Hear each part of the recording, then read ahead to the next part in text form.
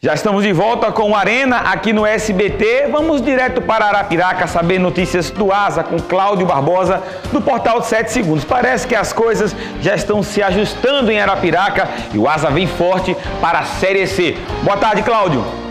Boa tarde, Júnior de Melo e telespectadores do Arena. Aconteceu ontem a reunião extraordinária do Conselho Deliberativo do ASA. Na oportunidade, o presidente Bruno Euclides anunciou oficialmente a sua renúncia do cargo e ele falou sobre essa situação. A gente chegou à conclusão que é, em que pese não termos acabado ainda o período do nosso mandato, mas era hora de passar a vez para o L. Carlos e era hora de que o Conselho e a cidade de Arapiraca compusesse uma nova direção que pusesse fazer frente a esse momento. Com a saída de Bruno Euclides, o novo presidente alvinegro é o médico Eli Carlos Albuquerque, que falou a respeito desse desafio de comandar o ASA neste momento de crise. A gente sabe que tem um desafio muito grande pela frente, que é esse campeonato da Série C. Mas eu queria aproveitar esse espaço para dizer ao nosso torcedor que o Asa vem forte, vem, vem motivado, né? Estamos com, com, conseguindo trazer toda a torcida para o nosso lado empresariado, poder público e não poderia ser de outra forma. Os demais cargos que ficaram vagos na diretoria serão preenchidos em uma nova eleição, já marcada para o dia 2 de junho, como destaca o presidente do Conselho Deliberativo, Fabrício Almeida. Bom, a gente espera que os associados patrimoniais e, e os próprios conselheiros do clube se apresentem para preencher esses cargos e dar seguimento né, às necessidades do dia a dia do clube. E hoje pela manhã foi apresentado o técnico alvinegro para a Série C do Campeonato Nacional. Trata-se de Jaelson Marcelino. Ele chega acompanhado do preparador físico Rodrigo Albuquerque. É com você, Júnior de Melo.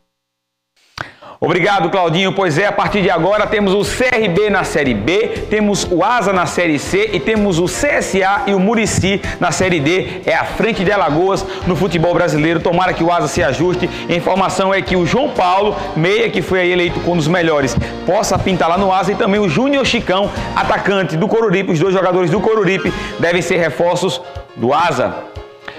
O Barcelona e a família de Neymar começaram um novo contrato desde o ano passado, um novo contrato com o Barcelona para tentar a renovação do jogador. Ainda não há previsão de acordo. Além do aumento do salário e da multa contratual, a família de Neymar exige para o novo clube que o acordo é, exige que o clube se comprometa a prestar assistência jurídica, tributária e financeira no processo que tramita contra Neymar na justiça espanhola.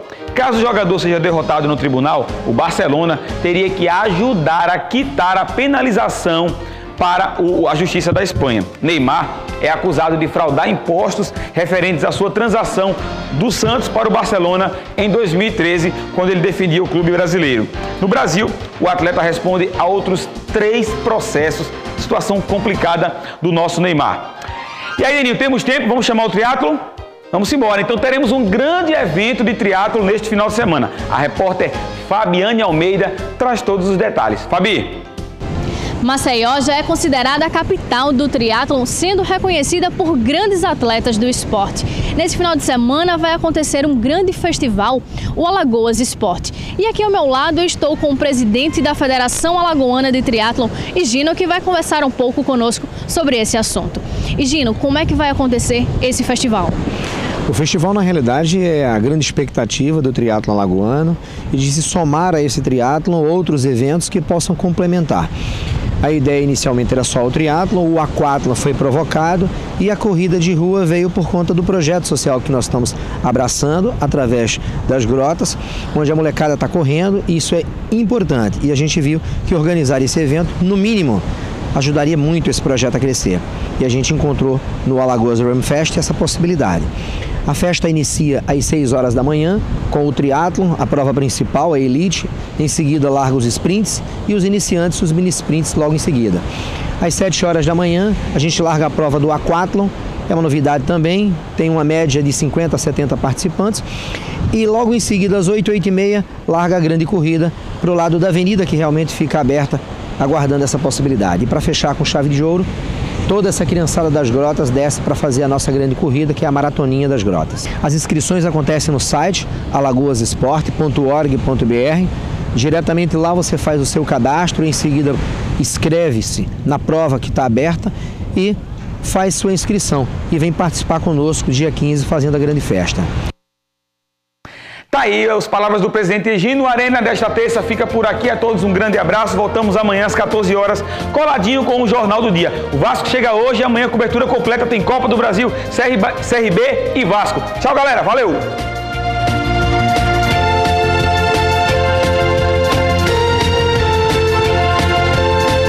Arena. Oferecimento. Alumiaço Vidros, a maior fábrica de vidros do Nordeste.